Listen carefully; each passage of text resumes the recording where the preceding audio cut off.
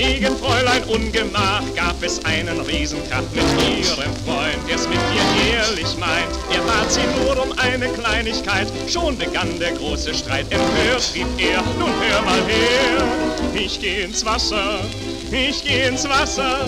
Dann kannst du endlich tun und lassen, was du willst. Ich geh ins Wasser, ich geh ins Wasser.